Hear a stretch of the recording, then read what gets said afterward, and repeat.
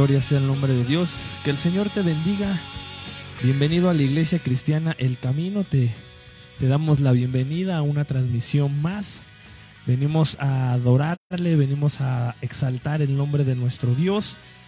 Comparte este, esta transmisión para que la demás gente, para que los demás puedan adorar y alabar a Dios con nosotros. Y bueno, vamos a empezar nuestro servicio y vamos a empezar con una oración. Vamos a ponernos en las manos de Dios este servicio, esta transmisión, los instrumentos, nuestro, nuestra vida, todo. Lo vamos a poner en las manos de Dios. Nos hemos congregado, nos hemos reunido para darle la honra y la gloria a Dios. Tú allá en tu hogar, nosotros aquí en la iglesia, el camino, pero todos con un mismo sentir, todos con un mismo propósito, el cual es darle la honra, la gloria y la alabanza a nuestro Dios. Y vamos a ponernos en las manos de Dios. Vamos a orar ahí, si estás ya en tu hogar, si estás con tu familia, si estás...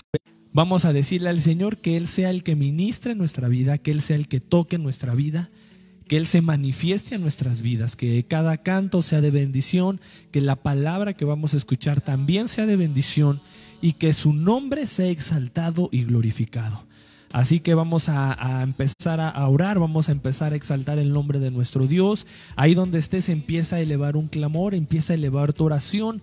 Lo, lo hacemos con reverencia y lo hacemos con respeto. Y vamos a cerrar nuestros ojos y vamos a pedirle a nuestro Padre. Bendito Padre que estás en los cielos.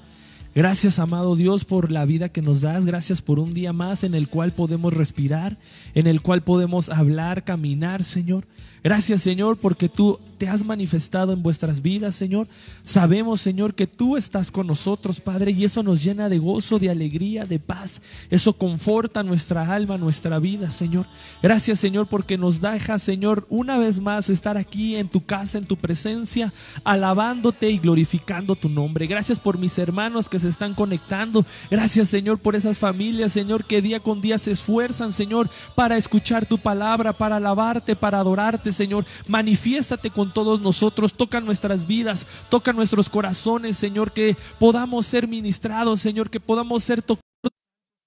Es un, honor, es grato el estar aquí, es un privilegio, Señor, el poder exaltarte, el poder glorificarte, Señor. Manifiéstate, Señor, en vuestras vidas, Padre. Úngenos desde nuestra cabeza hasta la planta de nuestros pies con el poder de tu Espíritu Santo, Señor. Unge nuestra garganta, nuestras manos, Señor, nuestros pies, todos, Señor. Úngenos, Señor. Prepáranos, Señor. Prepara nuestros corazones. Quita toda distracción, Señor. Quita toda obra del enemigo, Padre. En el nombre de Jesús, Padre. Echamos fuera toda obra del enemigo. Ponemos en tus manos, Señor, Padre, esta transmisión, el internet.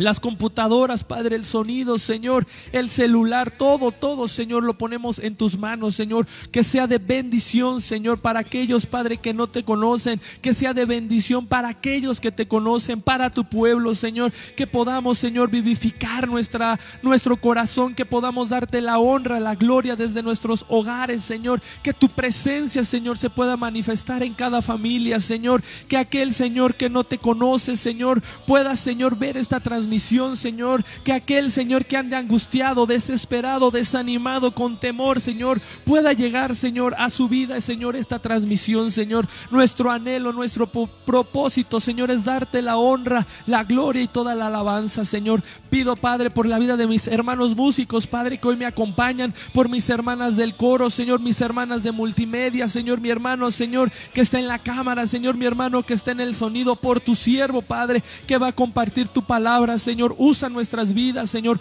Úngenos desde nuestra cabeza hasta la planta de nuestros pies con el poder de tu Espíritu Santo, Padre. Que seamos ese canal, ese medio, que podamos transmitir, Señor, tu presencia. Que podamos, Señor, impulsar a tu iglesia, invitarla, Señor, a que te alaben, a que te adoren, a que te glorifiquen, Señor. Y que todos, Señor, todos, Padre, te podamos dar la honra, la gloria y toda la alabanza. Señor, manifiéstate en nuestras vidas, Señor. Hoy más que nunca necesitamos tu presencia, Señor, en vuestros corazones, Señor. Quita, Señor, todo cansancio, quita toda apatía, quita toda distracción, Señor. Que estos momentos, Señor, te los dediquemos plenamente a ti, Señor. Quita, Señor, todo lo que estorbe, Señor, que pone en nuestros corazones, Señor, espíritu de alabanza, espíritu de adoración, Señor, espíritu para escuchar tu palabra. Danos entendimiento, conocimiento, que desde nuestros hogares, Padre, mis hermanos puedan levantar un altar, Señor, de alabanza, un altar de adoración, Señor, que podamos darle la seriedad, Señor,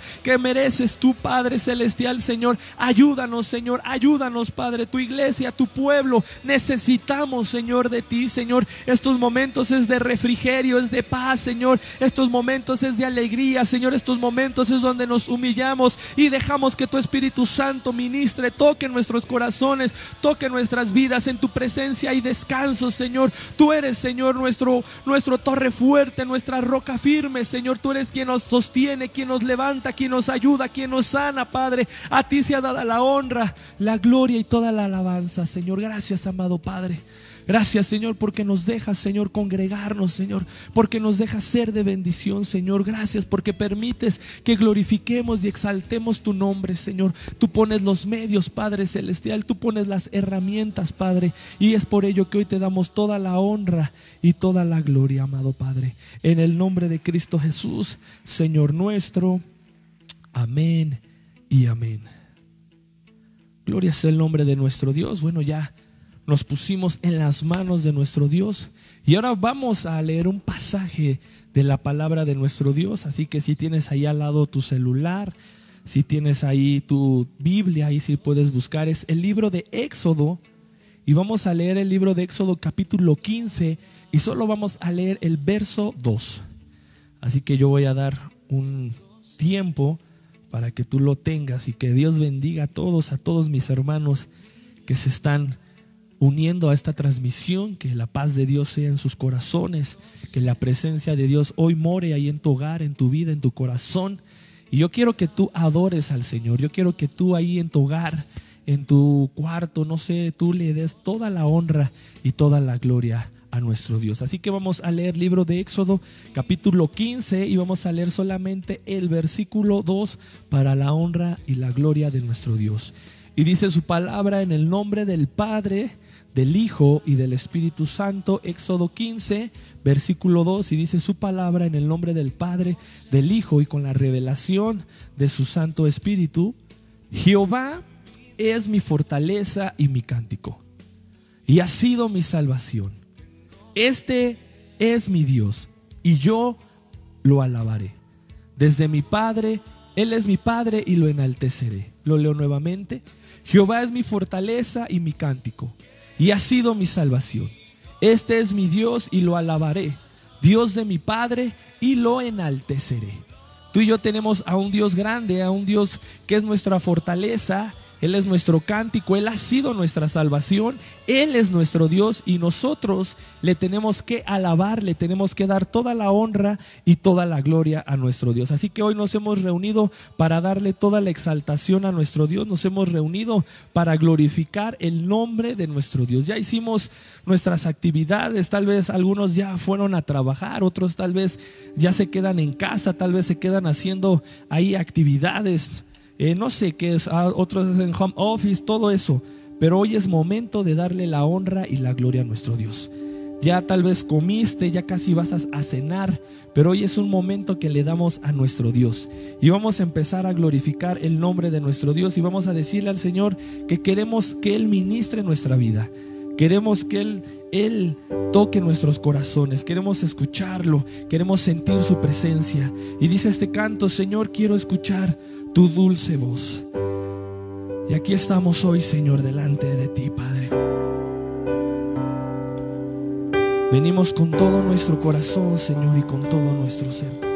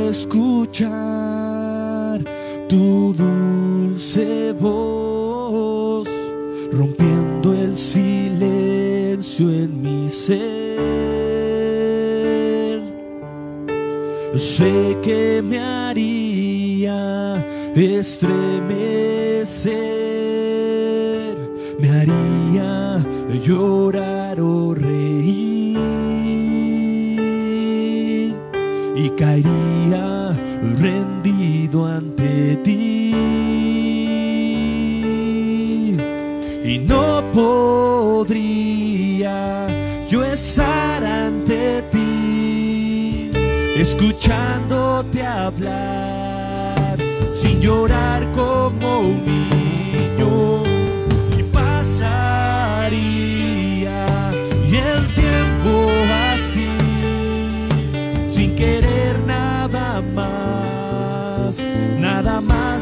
más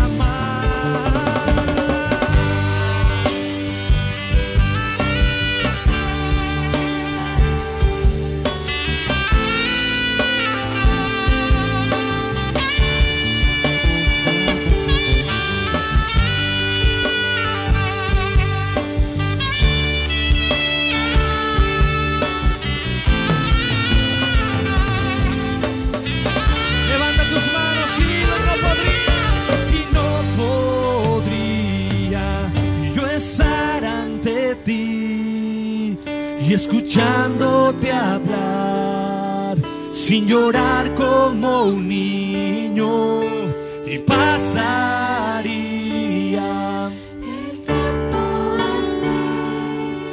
sin querer nada más, nada más que escucharte hablar.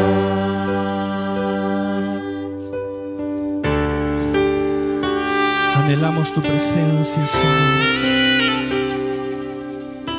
Anhelamos que tú hables a vuestras vidas, Padre. Hemos venido a adorarte. Hemos venido a darte toda la gloria, Señor.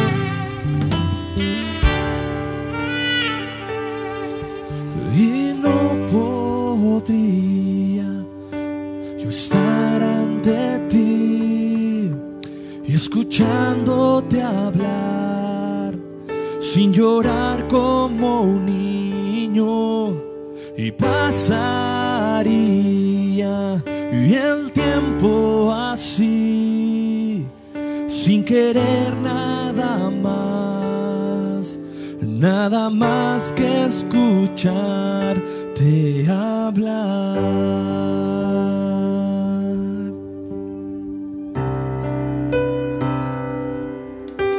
Anhelamos Señor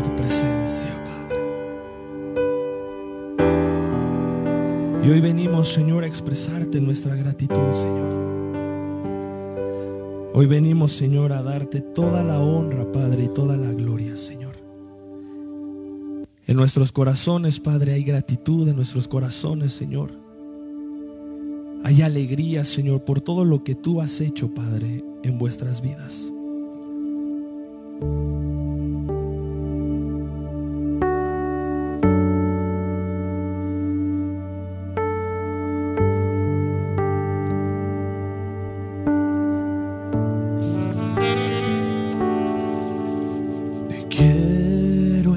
Quiero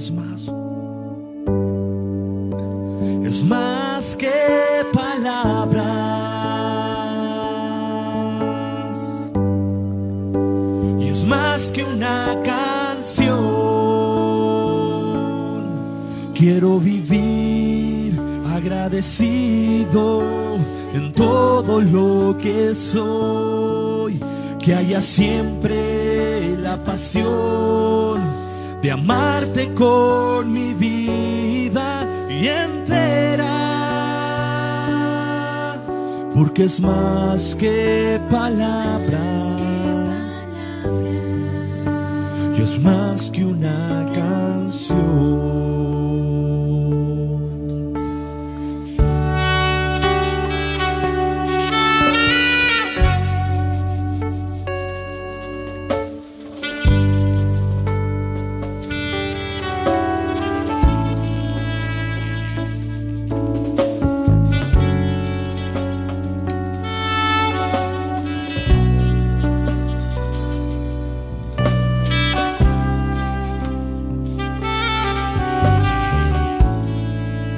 Quiero expresar. Y quiero expresar mi gratitud a ti y que me has dado todo. Una oración no bastaría,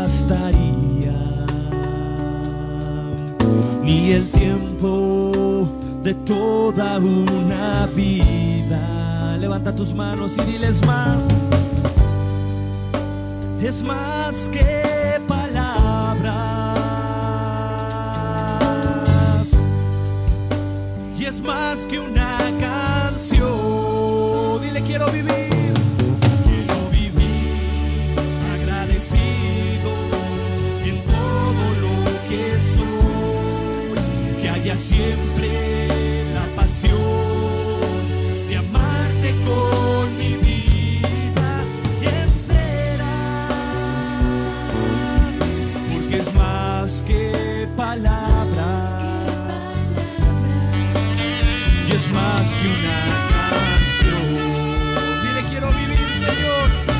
Vivir agradecido en todo lo que soy.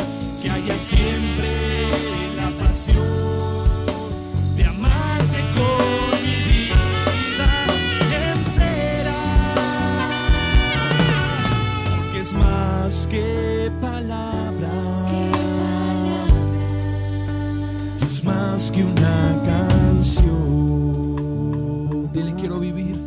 Quiero vivir agradecido en todo lo que soy.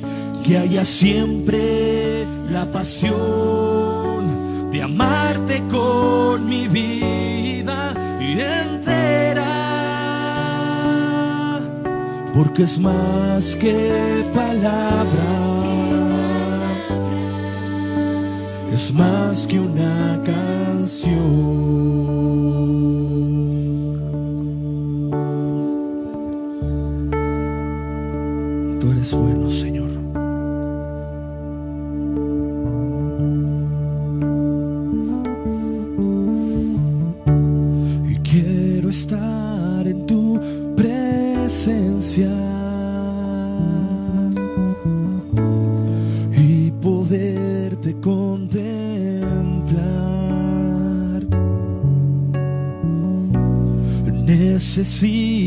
cruzar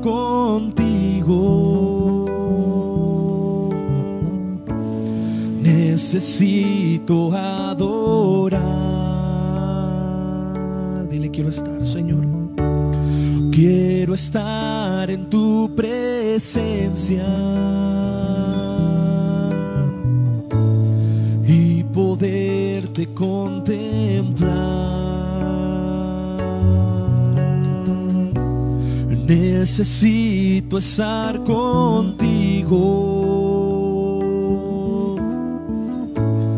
Necesito adorar y dame de beber de tu mano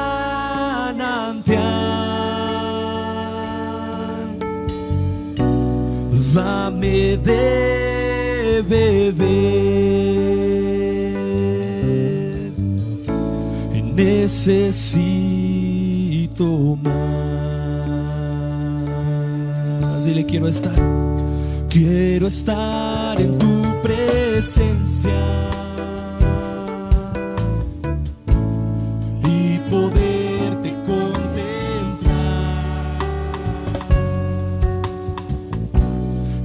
Necesito estar contigo. Dile, Señor, yo necesito de ti. Y necesito adorar. Dile una vez más, quiero estar en tu presencia. Quiero estar en tu presencia.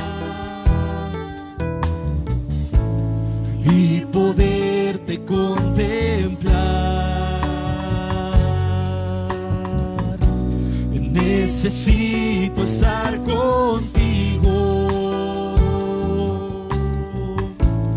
Necesito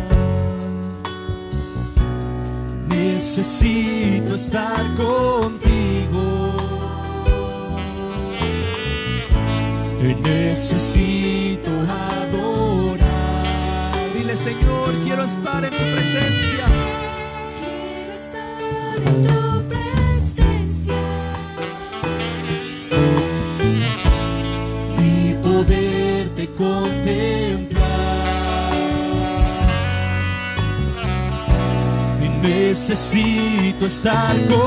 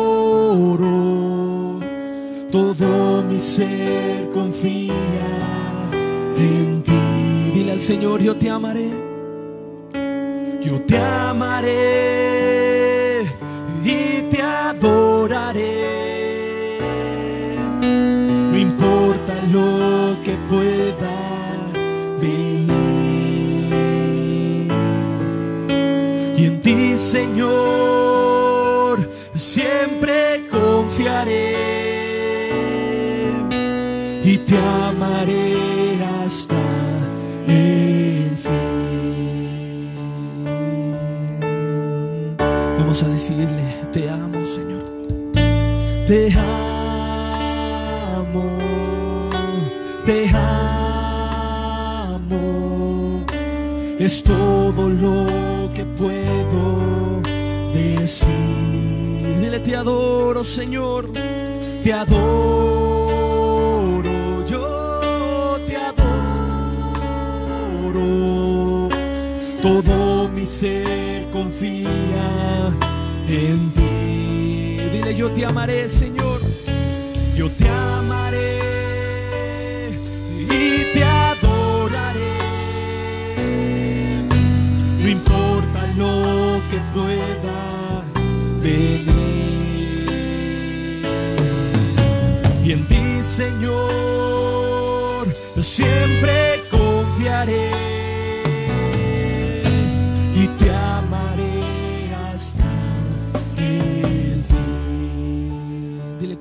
Te amo. Te amo. Te amo. Es todo lo que puedo decir. Dile, Señor, yo te adoro. Te adoro. Te adoro.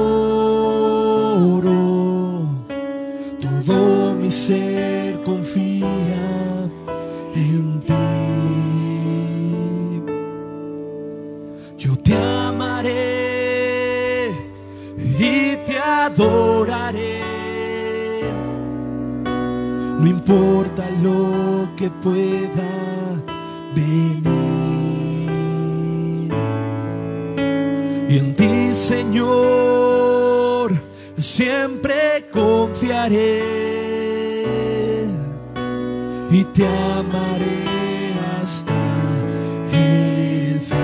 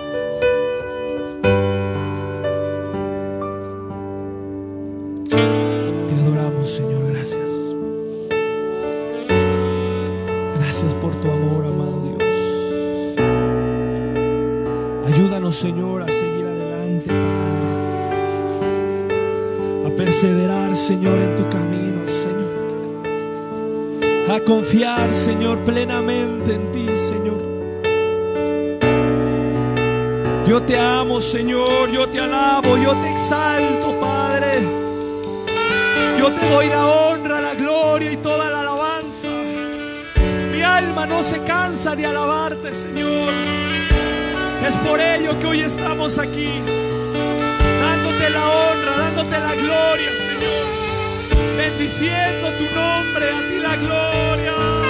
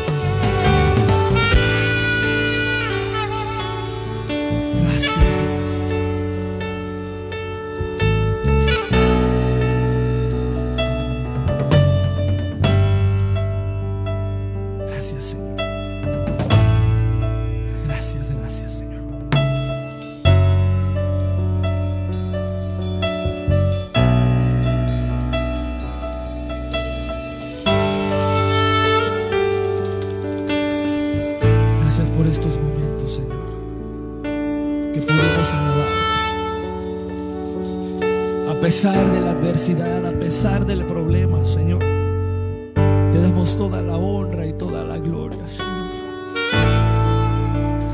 Glorificamos tu nombre, Señor.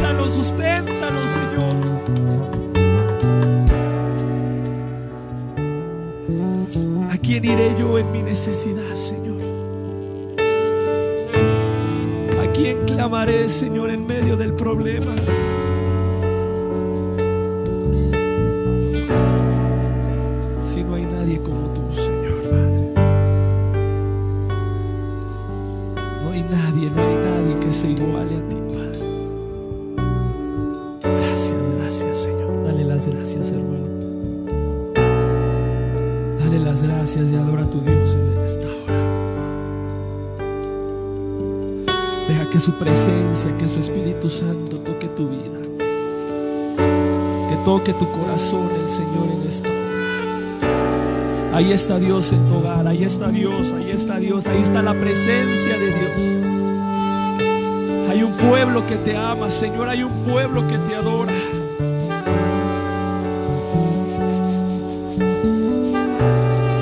Con este mismo gozo, Padre, con esta misma libertad, queremos escuchar tu palabra.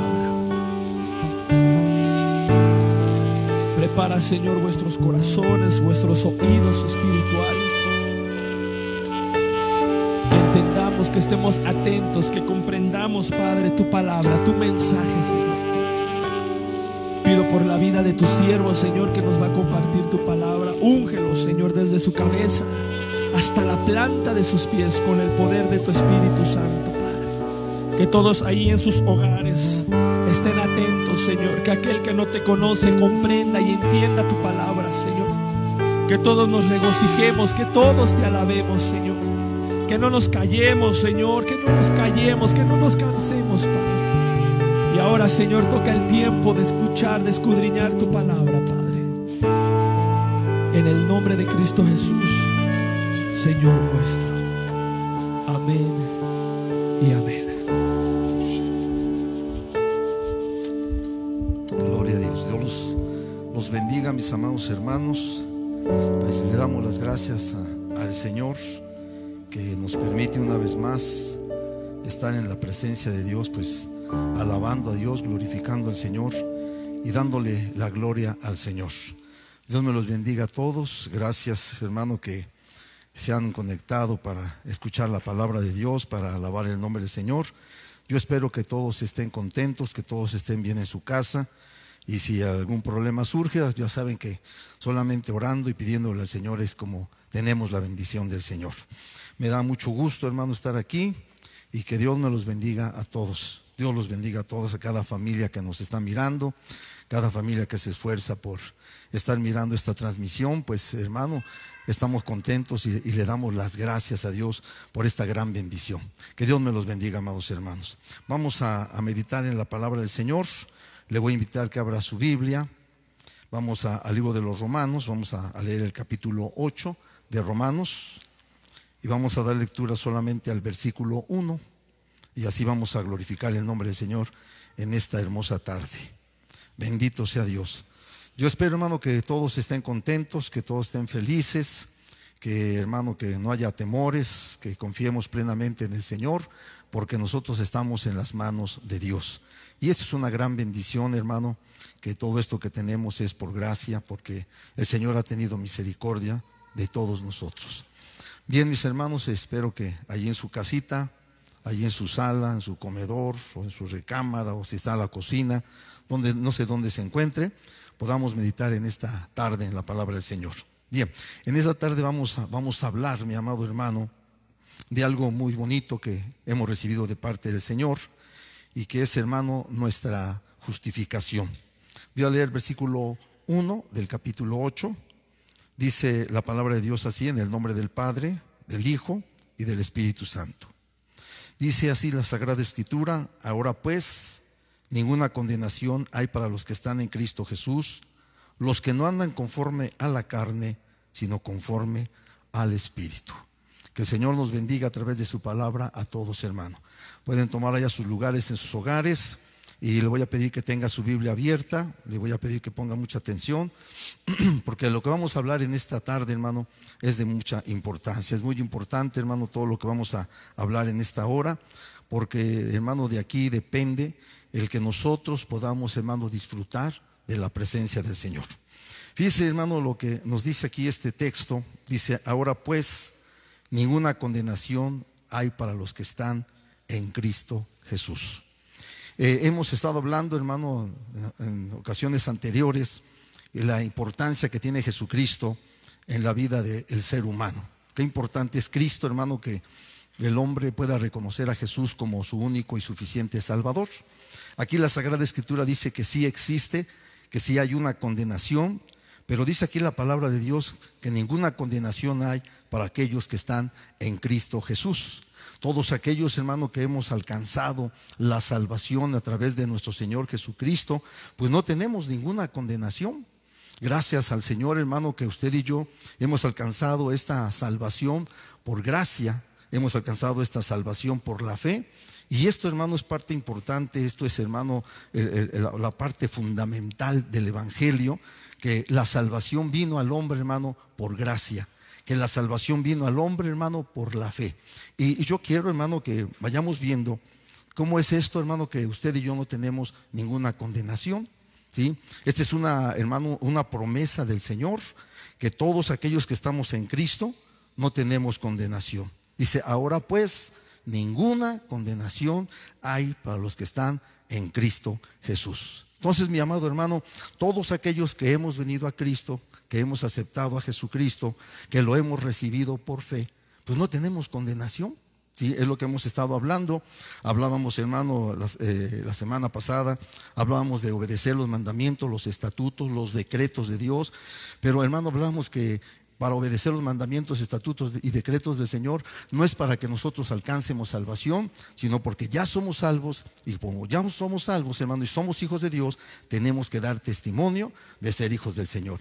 Ahora bien, voy, a hablar primeramente, hermano, lo que aquí la Sagrada Escritura nos enseña del hermano de la, de la salvación que hemos alcanzado por la fe esta salvación tan grande, hermano, la cual, hermano, pues por esta salvación, pues no tenemos ninguna condenación, no hay condenación para nosotros.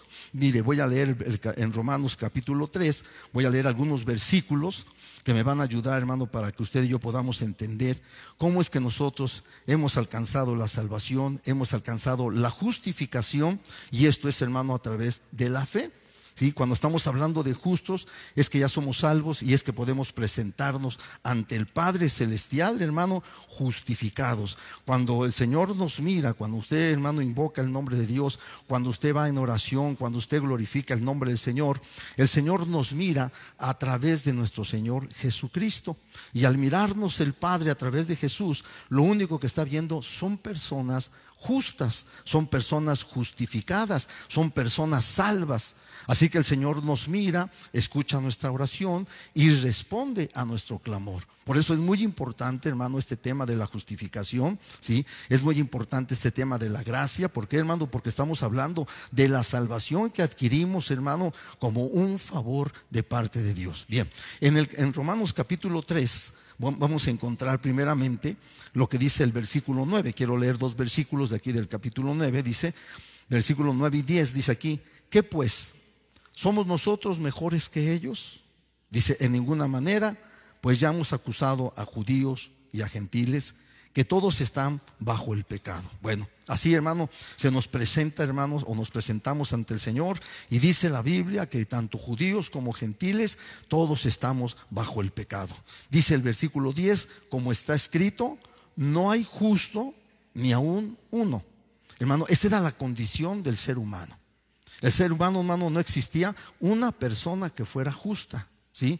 Y dice el versículo 11, no hay quien entienda, no hay quien busque a Dios, todos se desviaron, a una se hicieron inútiles, no hay quien haga lo bueno, no hay ni siquiera uno. Esta es la condición del ser humano.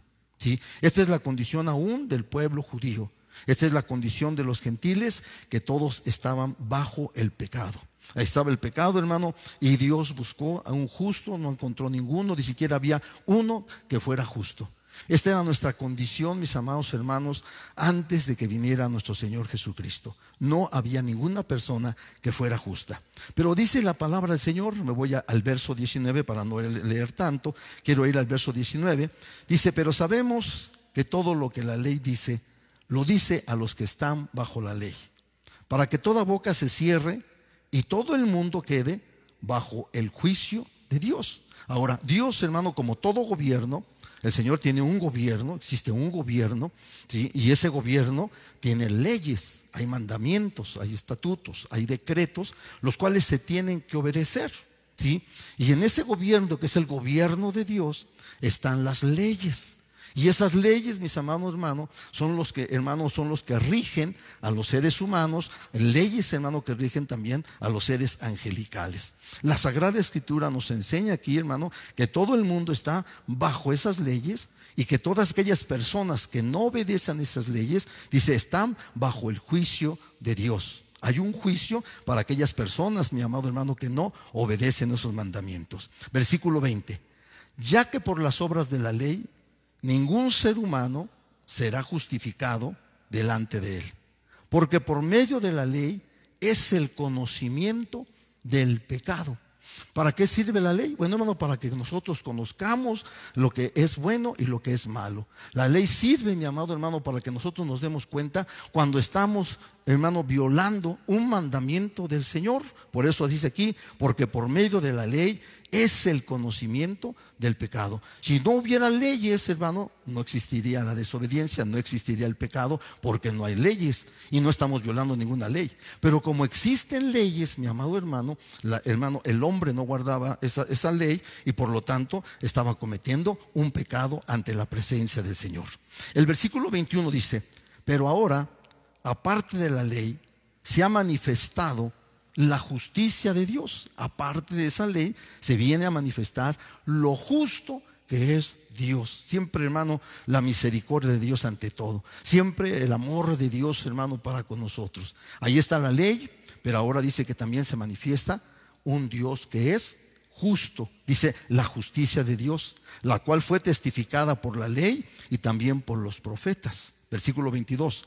La justicia de Dios por medio de la fe. Ahí viene, hermano, la justo- lo justo de Dios, que el Señor, hermano, al ver que nosotros no podemos obedecer los mandamientos, que no podemos caminar, hermano, conforme a esa ley, que tenemos una, una naturaleza pecaminosa que se habían adquirido, hermano, por la desobediencia de Adán y Eva. Bueno, el Señor en su misericordia, en su amor, en su justicia, dice aquí que entonces el Señor, como es justo, manifiesta una ayuda al ser humano. Versículo 22. Dice, la justicia de Dios que se manifiesta por medio de la fe a través de Jesucristo. Para todos los que creen en Él, porque no hay diferencia. Verso 23. Por cuanto todos pecaron y están destituidos de la gloria de Dios. Dice, todos pecaron y están destituidos de la gloria de Dios, de la presencia de Dios, del reino de los cielos, hermano. Esta era, hermano, la condenación que había para nosotros. No podíamos, hermano, estar en la presencia del Señor. Toda la raza humana estaba destituida de la gloria del Señor. No había una persona justa y como no existía una persona justa, no podía llegar a la presencia del Señor. Esta era, hermano, la condición del hombre.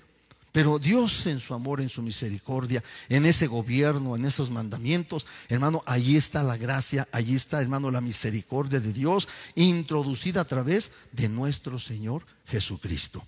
Y dice aquí la Sagrada Escritura, versículo 23, por cuanto todos pecaron y están destituidos de la gloria de Dios, pero ahora siendo justificados gratuitamente por su gracia. Y esto mediante la redención o mediante un rescate que es en Cristo Jesús o a través de Jesucristo. Fíjense, hermano, todo lo, bonito que el Señor, hermano, hace por rescatar al ser humano. Siempre Dios, siempre el Señor, hermano, ha manifestado su amor. Siempre Dios ha extendido su mano, hermano, sobre el ser humano. Desde el principio de la creación, mi amado hermano, cuando falló el hombre, cuando el hombre desobedeció, allí estaba la misericordia de Dios. Allí estaba Dios, hermano, para ayudar al hombre. El hombre había pecado, el hombre había desobedecido, pero allí estaba el Señor, hermano, para ver y ayudar, hermano, a Adán y Eva que habían pecado. Y en cada dispensación o en cada periodo, hermano, eh, hermano, que nos muestra la palabra de Dios, hermano, respecto al hombre, en esas dispensaciones siempre encontramos que el hombre falla, pero siempre vemos la mano de Dios extendida para ayudar a aquellas personas, para ayudar a aquella humanidad que ha perdido, hermano, ese contacto con Dios. Siempre vamos a ver la misericordia de Dios. Dios nunca ha escondido su amor, nunca ha escondido su misericordia. Y aquí, hermano, estamos viendo cómo el Señor, lo último que está haciendo es entregarnos a su Hijo, a nuestro Señor Jesucristo, para que ustedes y yo alcanzáramos salvación. Y esto dice la palabra de Dios que es gratuitamente. Versículo 24 dice, siendo justificados gratuitamente por la gracia del Señor. Y esto mediante una redención, mediante un rescate, que es a través de nuestro Señor Jesucristo. Verso 25, a quien Dios puso como propiciación o como sacrificio. Acuérdese que nuestro Señor Jesucristo se ofreció en esa cruz como un sacrificio. ¿Para qué, hermano? Para pagar el pecado del hombre, tal y como dice el profeta Isaías en el, eh, en el capítulo 53. Ahí estaba el Señor, hermano, pagando todos nuestros pecados, llevando Él los pecados de todo el mundo, llevando también las enfermedades, llevando las dolencias. Hermano, esto lo hizo nuestro Señor Jesucristo. Él fue el sacrificio, hermano, que fue ofrecido en aquella cruz, para que todos aquellos, hermano, que creyéramos en Jesucristo, alcanzáramos la salvación y la vida eterna. Ahora dice la palabra del Señor, a quien Dios puso como propiciación por medio de la fe en su sangre. Acuérdese, hermano, que en la sangre está la vida, de acuerdo a lo que dice el libro de Levítico. ¿sí? ¿Y qué es lo que hizo nuestro Señor Jesucristo? Dio su sangre, dio su vida. La vida de Dios mismo, hermano, fue dada en aquella cruz para que nosotros alcanzáramos la salvación. Qué, qué- qué bonito todo lo que hizo Dios, todo ese sacrificio que hizo nuestro Señor Jesucristo, toda esa manifestación de amor de parte del Padre al entregarnos a su Hijo Jesús. Eh, hermano, esto tenemos que valorarlo. Esto, hermano, es algo que Dios nos está dando gratuitamente y que nosotros, hermano, hemos creído que el sacrificio de Jesucristo quita el pecado. Si usted ha creído que Jesucristo le borra su pecado, hermano, usted es justificado. Si usted duda y dice, yo no creo que solamente a través de, de Jesucristo yo pueda alcanzar la salvación, yo creo que hay otros medios, yo creo que hay otras religiones, yo creo que hay otros grupos donde me puedan ayudar, hermano, aquí la palabra de Dios, que es palabra del Señor, nos enseña que solamente es a través de Jesús. La historia del hombre, hermano, tiene un parteagua antes y después de Cristo. ¿Por qué? Porque Cristo vino a intervenir en la historia del hombre. Ahí está Jesús, hermano. Y no podemos negar, hermano, lo que vino a hacer. Año con año, hermano, el ser humano festeja el nacimiento de Jesucristo, festeja la muerte de Jesucristo. Hermano, año, van pasando los años y vienen las generaciones, hermano, y ahí está presente, ahí está latente, hermano, estos acontecimientos. Hermano, que nos narran, que nos gritan, que nos hablan, que hay alguien que murió por el ser humano. Así que, hermano, aquí es lo que estamos viendo, es lo que el Señor, hermano, en su misericordia ha hecho. A través de su sangre, el Señor nos ha limpiado de todos nuestros pecados. Dice aquí la palabra de Dios, para manifestar su justicia a causa de haber pasado por alto en su paciencia los pecados pasados. Dice pecados pasados, los que habíamos cometido atrás. El Señor, hermano, los ha borrado. El Señor tomó todos nuestros pecados y los arrojó hasta lo profundo de la mar. Y ya el Señor no se acuerda. Estos pecados son pasados. Por eso la Sagrada Escritura dice que hoy tenemos una vida nueva, que las cosas viejas ya pasaron. Todo lo que pasó atrás se queda atrás. Se olvidó, hermano. Por eso hoy nosotros somos nuevas criaturas. Tenemos una vida nueva en Cristo Jesús. Esto es lo, bonito. Por eso dice la palabra de Dios, ninguna condenación hay para los que están en Cristo Jesús. Así que no hay condenación. Si tú estás en Cristo, no tienes condenación. Eres salvo, hermano, por la gracia. Eres salvo por la fe. Y lo que estamos hablando aquí, hermano, es que dice la justicia por medio de la fe. Ahora, el verso 26, quiero leer estos versículos que también son importantes. Dice, con la mira de manifestar en este tiempo su justicia, a fin de que Él sea el justo y el que justifica al que es de la fe de Jesús. Aquí nosotros encontramos, hermano, a nuestro Señor Jesucristo como justo y dice aquí la palabra del Señor que es el que viene a justificarnos a través de la fe. ¿Sí? Aquí está el Señor. Él es el justo y Él es el que justifica al que es de la fe de Jesús. Si usted tiene su fe puesta en Jesús, usted es justificado, usted es justo ante la presencia de Dios. En estos momentos, hermano, que estamos viviendo, que eh, hermano ha, ha- aturdido, hermano, la mente del ser humano, que no entiende lo que está pasando, que no entiende lo que está sucediendo, que hay muchas dudas, mis amados hermanos, de lo que está pasando. Muchos están enfermando, otros están muriendo, otros ya están desesperados, otros ya están angustiados. Mi amado hermano, aquí nosotros tenemos la respuesta, Cristo. Solamente Jesús es el único que puede ayudarnos en estos momentos tan difíciles. Aquí está la palabra del Señor. Hay que poner nuestra fe en Cristo Jesús. Ponga su confianza en Jesús. Y el Señor lo hace justo. Cuando usted invoca el nombre de Dios, recibe usted una respuesta de parte del Señor. ¿Por qué, hermano? Porque eh, Dios tiene el control de todas las cosas. Todo lo que está sucediendo, Dios tiene el control de todo esto. Aunque no alcanzamos a entender, hermano, a dónde nos lleva todo esto, pero nosotros sabemos que estamos en las manos de nuestro Señor Jesucristo. Bendito sea el nombre del Señor. El verso 27 dice, ¿dónde pues está la jactancia? Aquellos que se jactan, ¿verdad? ¿Queda excluida? ¿Por cuál ley? ¿Por la de las obras? Y dice, no, sino por la ley de la fe. Mis amados hermanos, aquí nadie puede jactarse ante Dios. Aquí nadie puede decir es que yo soy muy bueno y por eso yo alcancé la salvación. No, mis amados hermanos. Aquí dice la Sagrada Escritura que usted y yo, hermano, hemos alcanzado la justificación, dice aquí, por la ley de la fe. La fe de usted, usted que puso la fe en Cristo y que tiene depositada su fe en Jesús, eso es lo que a nosotros, mis amados hermanos, nos hace, hermano, rendirnos, reconocer a Jesucristo. No venimos, hermano, a jactarnos, no venimos a envanecernos, no venimos a decir es que yo soy muy bueno y como soy muy bueno, por eso es que soy salvo. No. Aquí la salvación, mi amado hermano, es por fe. No es por las obras, no es por lo que tú haces, no es por lo que tú has hecho. No, hermano, es por la fe. Sigo leyendo. Versículo 28. Concluimos, pues que el hombre es justificado por fe sin las obras de la ley. Aquí nadie es salvo porque guardó los mandamientos. Nadie podía guardar los mandamientos a causa de la naturaleza pecaminosa. Por mucho que el hombre se esforzaba por ser bueno, porque muchas veces, cuántas veces usted dijo, hoy me voy a portar bien, hoy ya no voy a tomar, ya no voy a fumar, ya no voy a decir groserías, ya no me voy a pelear, pero nunca se pudo, jamás se pudo. Al contrario, hermano, enseguida ya cuando pensamos ya no vamos a pelear, ya estábamos peleando. Cuando pensamos ya no vamos a decir groserías, ya estábamos maldiciendo. Cuando pensábamos ya no voy a estar en el vicio, ya estábamos tomando. ¿Sí? Hermano, entonces aquí la Sagrada Escritura nos va enseñando que hemos sido justificados no por las obras de la ley, no porque tú hayas guardado mandamientos, no porque tú seas una persona buena, no.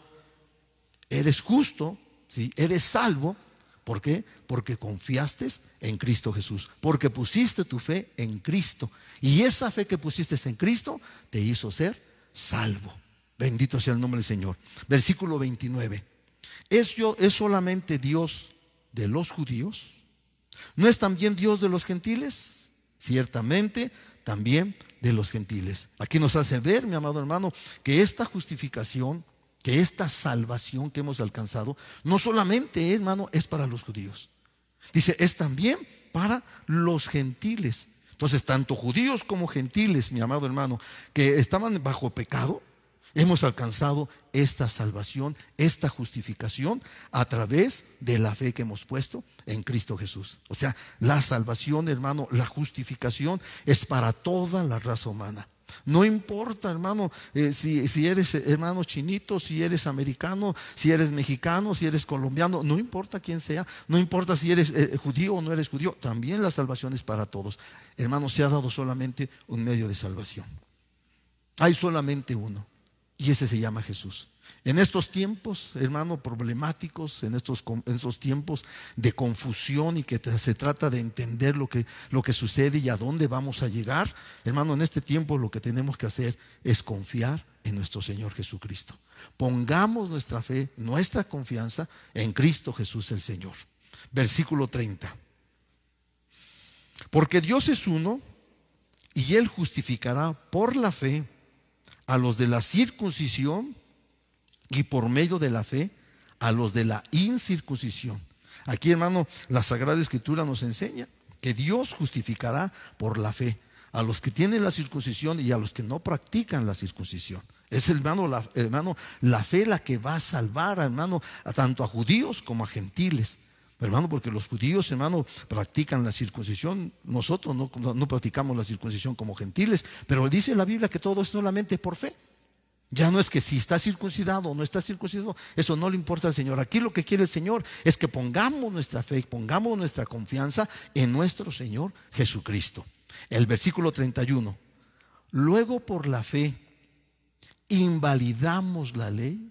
O sea, dice aquí por la fe yo hago nula la ley. Ya no sirve la ley. Ya no funciona. La respuesta es en ninguna manera sino que confirmamos la ley. La confirmación, hermano, es que a la ley le damos, hermano, mayor firmeza. Estamos nosotros, hermano, confirmando que la ley es válida, que la ley es santa, que la ley es justa y que la ley es necesaria, hermano, para el buen vivir, hermano, en los seres humanos. Por eso dice aquí, entonces, ¿qué va a pasar? Por la fe nosotros invalidamos, no sirve ya esta ley. Y dice la respuesta, en ninguna manera, sino que venimos y confirmamos que la ley, hermano, sirve. Le damos, hermano, mayor firmeza a la ley. Porque, hermano, el mal no está en la ley. El mal está en nosotros los seres humanos. Porque en nosotros está, hermano, es esa naturaleza pecaminosa. La ley ahí la estableció el Señor, hermanos, son mandamientos de Dios.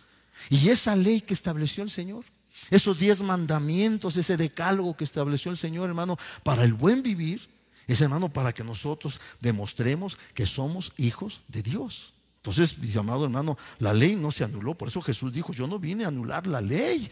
Yo vine a cumplir la ley, porque la ley es santa. A ver, vamos a, ir más adelante. Voy, por favor, mis amados hermanos, al capítulo 6. Voy a tomar otra parte de aquí, del capítulo 6. Eh, todo el libro de Romanos, hermano, nos lleva, a- hermano, a hablar de la justificación. Estamos hablando que ninguna condenación hay para los que están en Cristo Jesús. No quieres ser condenado, no quieres llegar al infierno, ¿qué necesitas? A Cristo. Amén. ¿Qué tengo que hacer para ser salvo? Solamente creer en Jesucristo. Solamente lo único que tienes que que hacer es creer que Jesucristo es el Señor. Es que tienes que confesar que Jesucristo, mi amado hermano, es el Rey, es el Salvador del mundo. Y tienes que creer en tu corazón que el Padre lo levantó de entre los muertos. Eso es lo que nosotros tenemos que confesar. Ahora, dice aquí la palabra del Señor. Estoy en el capítulo 6, versículo 1. Estoy hablando, hermano, primeramente de la justificación y después voy a hablar de la gracia. No, no, no estoy profundizándome en esto, solamente doy dando, estoy dando los textos donde usted va leyendo, usted se va dando cuenta qué importante, hermano, es Cristo en nuestra vida y cómo es que nosotros hemos alcanzado esta justificación. El versículo 1 dice, ¿qué pues diremos? ¿Perseveraremos en el pecado para que la gracia abunde? ¿Voy a seguir yo en el pecado para que Dios me siga ayudando y Dios me siga perdonando? En ninguna manera, dice el versículo 2, en ninguna manera. Porque los que hemos muerto al pecado, ¿cómo viviremos aún en él? ¿Sí? Ya nosotros, mis amados hermanos, hemos creído, hemos aceptado y automáticamente salimos, hermano, de una condenación y hemos entrado a una vida, una vida que el Señor nos da a través de su Hijo Jesucristo. Dice el versículo 3, ¿o no sabéis que todos los que hemos sido bautizados en Cristo Jesús hemos sido bautizados en su muerte? Porque somos sepultados juntamente con Él para muerte por el bautismo, a fin de que como Cristo resucitó de los muertos por la gloria del Padre, así también nosotros andemos en una vida nueva. Esto es, hermano, lo que sucede. No voy a perseverar en el pecado. Ya no, hermano, de ninguna manera. Porque los que hemos muerto al pecado, ¿cómo vamos a vivir todavía cometiendo pecado? No, ciertamente soy salvo por gracia, pero ahora por ser salvo, ahora por ser hijo de Dios, ahora yo tengo, hermano, que guardar esa ley, esos mandamientos. ¿Por qué, hermano? Porque esos mandamientos me llevan, hermano, para vivir bien de acuerdo a la perfecta voluntad. Soy salvo por la fe. He alcanzado esta salvación. El versículo 5 dice, porque si fuimos plantados juntamente con Él en la semejanza de su muerte, así también lo seremos de, su resurrección. Sabiendo esto, que nuestro viejo hombre fue crucificado juntamente con Él, para que el cuerpo del pecado sea destruido, a fin de que no sirvamos más al pecado. Fíjese lo que está diciendo. Sí, mi amado hermano, yo soy justo, ¿sí? he alcanzado esa justificación, me presento ante el Padre, pero hay un peligro, que si me descuido, puedo servir al pecado. Y la Biblia dice aquí, a fin de que no sirvamos más al pecado. Yo ya no puedo vivir más al pecado. Ahora estoy viviendo para servirle al Señor. Verso 7. Porque el que ha muerto ha sido justificado del pecado. Y si morimos con Cristo, creemos que también viviremos con Él. Sabiendo que Cristo, habiendo resucitado de los muertos, ya no muere, ya no muere. La muerte no se enseñarea más de Él. Porque en cuanto murió, al pecado murió una vez y por todas. Mas cuanto vive, ahora dice que vive para Dios. Hermano, nosotros ya morimos para el mundo, ya morimos para el pecado, ahora vivimos solamente para el Señor. Bendito el nombre del Señor. Porque la, Bi- la Biblia aquí dice, hermano, versículo 11, así también nosotros, considerados muertos al pecado, pero vivos para Dios en Cristo Jesús, Señor nuestro. Amados hermanos, muertos para el mundo, muertos para el pecado, pero vivos para Cristo Jesús el Señor. Esto es, hermano, lo- el resultado ¿sí? De hermano, de la justificación. Es el resultado de la fe que hemos puesto en Cristo Jesús el Señor. Este es el resultado, esta es la bendición que usted y yo tenemos hoy en la actualidad. Ahora, dice el versículo 12, voy a, leer el versículo 12. No reine pues el pecado en vuestro cuerpo mortal, en este cuerpo que muere, de modo que lo obede- obedezcáis en sus concupiscencias. Yo no puedo, hermano, satisfacer esta carne. Ya no. Este cuerpo ya, hermano, está sujeto a la voluntad de Dios. Ni tampoco presentes vuestros miembros al pecado como instrumentos de iniquidad, sino presentaos vosotros mismos a Dios como vivos de entre los muertos y vuestros miembros a Dios como instrumentos de justicia. Hermano, nuestros miembros, dice aquí la Sagrada Escritura, nuestro cuerpo, hay que presentarlo como unos instrumentos de justicia. Esto quiere decir que sí soy salvo, hermano, por la fe, que he alcanzado la justificación, que no tengo ninguna condenación, pero aquí la palabra del Señor me dice que yo no puedo utilizar mis instrumentos, hermano, estas manos, estos ojos, este cuerpo, hermano, como instrumentos de pecado, sino como instrumentos de justicia. ¿Por qué, hermano? Porque yo ya soy justo. Y al ser justo, hermano, todo mi cuerpo, hermano, tiene que servir como miembros, hermano, o como instrumentos de justicia. Verso 14. Porque el pecado no se enseñoreará de vosotros, pues no estás bajo la ley, sino bajo la gracia. Amados hermanos, esto es lo que les, le enseña la palabra de Dios. Hay mucho, hermano, que, que hablar respecto a esto. Yo quiero que usted tome conciencia, ¿sí? Que nosotros hemos alcanzado nuestra justificación por la fe. Somos salvos sin hacer absolutamente nada, solamente creer. Es todo lo que tenemos que hacer. La Sagrada Escritura esto nos enseña. El verso 15 dice lo mismo que el versículo 1 del capítulo 6.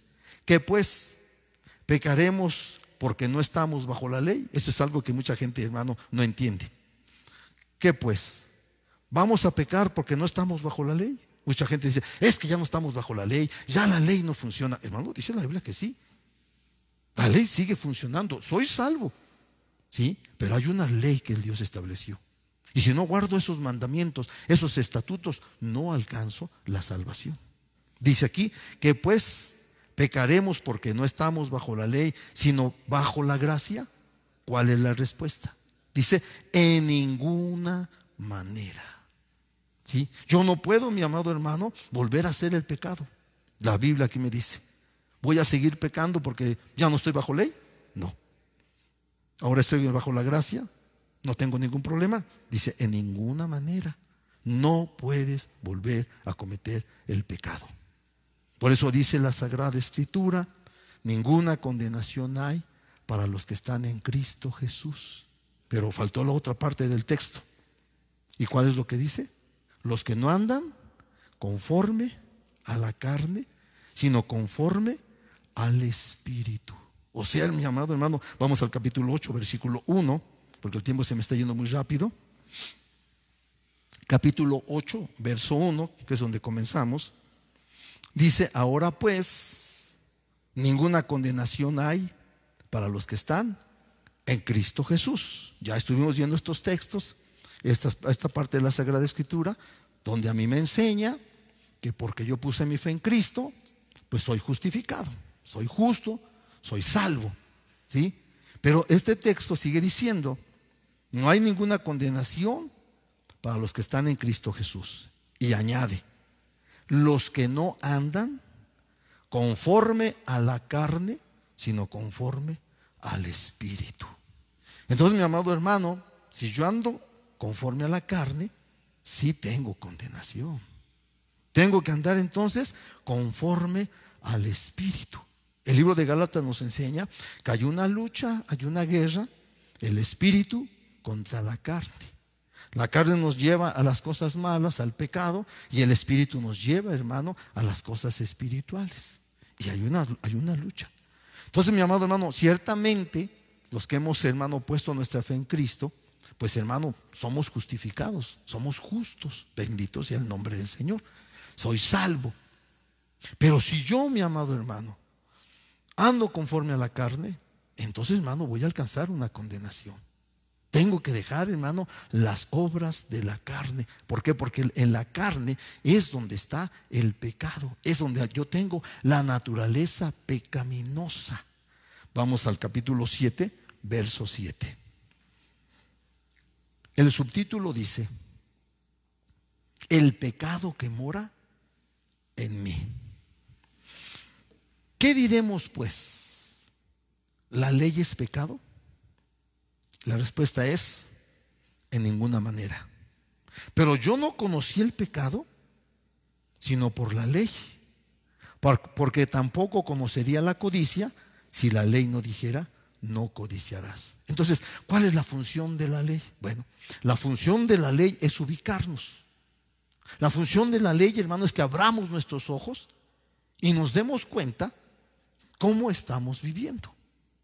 Si la Sagrada Escritura, si la ley me dice, hermano, no desearás la mujer de tu prójimo, entonces no puedo desear la mujer de mi prójimo. Si la ley dice no adulterarás, hermano, yo no puedo cometer adulterio. No, teniendo yo mi esposa, no puedo buscar yo otra mujer para cometer, hermano, pecado de iniquidad, pecado, hermano, que, que voy a tener una relación con esa persona y voy a cometer un adulterio. Entonces la ley me enseña lo que es bueno, lo que Dios quiere. Y la ley, hermano, la ley es santa, la ley es justa, y la ley me enseña a mí qué es lo que quiere Dios de mí. Entonces me va a ubicar.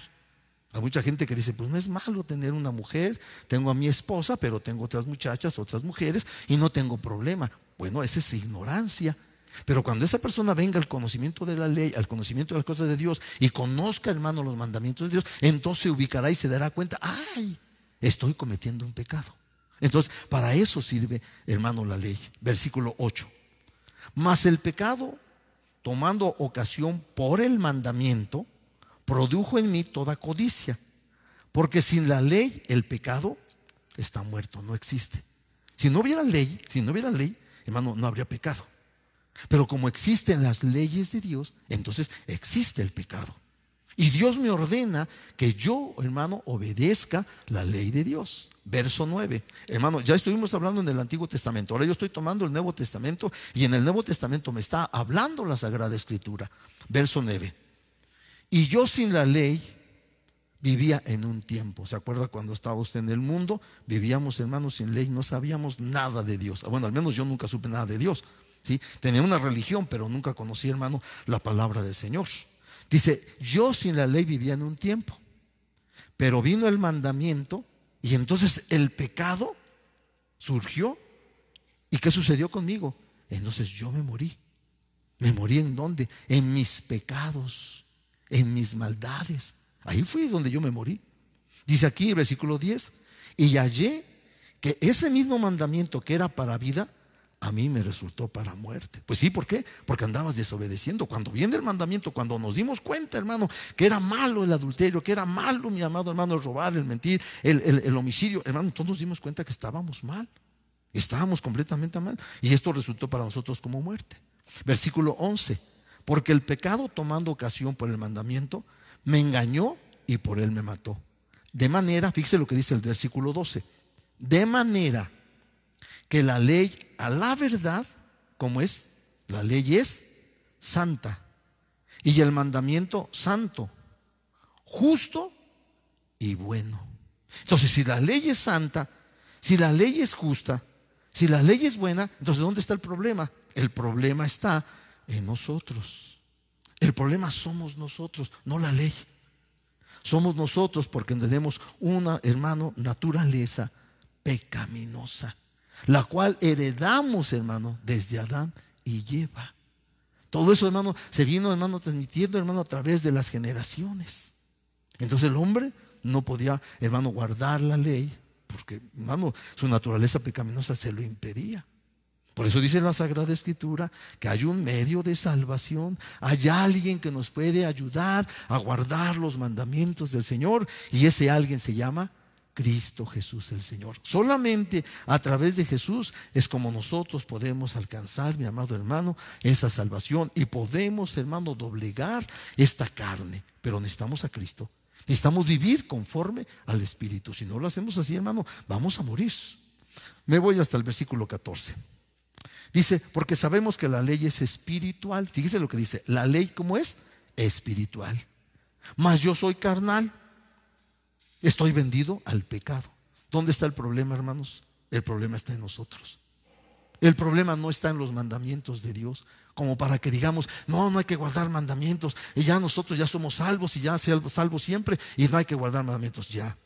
Eres salvo por gracia. Pero una vez, repito, no sé cuántas veces lo he repetido, pero una vez que yo alcancé la justificación, que yo alcancé la salvación a través de mi Señor Jesucristo, yo tengo la obligación de guardar esos mandamientos. Porque esos mandamientos, hermano, me llevan a vivir una vida moral, una vida recta, una vida santa. El verso 15 dice, porque lo que hago no lo entiendo. Pues no hago lo que quiero, sino lo que aborrezco, eso hago. Pues sí, hermano, cuando estábamos en el mundo decíamos, ya no me quiero enojar, ya no quiero fumar, ya no quiero estar en el vicio, pero no podíamos. Así que dice el versículo 16, y si lo que no quiero, esto hago, apruebo, apruebo que la ley, como es, es buena. El problema, ¿quién es? Vuelvo a repetir, nosotros. Verso 17. De manera que ya no soy yo quien hace aquello, sino el pecado que mora en mí. Y yo sé que en mí, esto es en mi carne, no mora el bien, porque el querer el bien está en mí, pero no el hacerlo. Porque no hago el bien que quiero, sino el mal que no quiero, eso es lo que hago. Sí, hermano, en nosotros está el deseo de no cometer pecado, de no hacer cosas malas, pero esta naturaleza pecaminosa me lleva a hacer lo malo. Versículo 20. Y si hago lo que no quiero, ya no lo hago yo. Entonces, ¿quién lo hace? Sino el pecado que habita o que mora en mí. Entonces el problema está en el, hombre. Así que queriendo yo hacer el bien, así que queriendo yo hacer el bien, encuentro, hallo esta ley, que el mal está en mí. ¿Dónde está el mal? En nosotros, hermano. Por esta carne, por este cuerpo, por esta naturaleza pecaminosa, luchamos, guerreamos. Y muchos dicen, es que, es que este es mi carácter. Y un carácter, hermano, de enojo, de ira. Hermano, eso es, hermano, andar conforme a la carne. Eso no es andar conforme al Espíritu. ¿sí? Entonces, el problema está, hermano, en nosotros. Verso 22. Porque según el hombre interior, según el hombre interior, me deleito. ¿En qué se deleita, hermano? En los mandamientos de Dios, en la ley de Dios. Ahí está el hombre interior, se deleita en las cosas de Dios. Pero veo otra ley que está en mis miembros, que se encuentra en mi carne, que se revela contra la ley de mi mente y que me lleva cautivo a la ley del pecado que está en mis miembros y que me toma cautivo a la ley del pecado que está en mis miembros. Qué problema tan grande, ¿verdad? Qué problema tan, grande, hermano, el que tengamos, hermano, que luchar contra esta carne y todos los días luchamos y que ya no me voy a enojar y que ya no voy a decir groserías y que ya no me voy a pelear y que ya no voy a robar y queremos hacer lo bueno, pero no podemos. La naturaleza pecaminosa nos gana. Y luego termina diciendo, verso 24, miserable de mí. Y se hace una pregunta, ¿quién me librará de este cuerpo de muerte? ¿Quién puede librarme? ¿Quién me puede ayudar? ¿Quién puede extender su mano para que yo pueda sujetar esta carne? Y entonces viene una respuesta. Gracias le doy al Padre, a Dios. ¿Por quién? Por Jesucristo, Señor nuestro. ¿En dónde encontramos, hermano, la ayuda para doblegar esta carne? En Cristo Jesús. Bendito sea el nombre del Señor. No sé si me está entendiendo. Sí, soy justificado por gracia. Dios me da la salvación. El Señor a través de su Hijo me limpia de mis pecados. Y yo una vez que estoy limpio del pecado, hermano, soy un cuerpo santo, soy un templo a donde va a venir el Espíritu Santo a morar en mí. Y ahora soy templo del Espíritu Santo de Dios. Y aquí dice la Biblia, gracias le doy a Jesucristo, o más, bien gracias le doy a Dios por Jesucristo Señor nuestro. Así que yo mismo con la mente sirvo a la ley, mas con la carne estoy luchando con esa ley del pecado. Amado, pero cuando venimos a Cristo, ¿sí?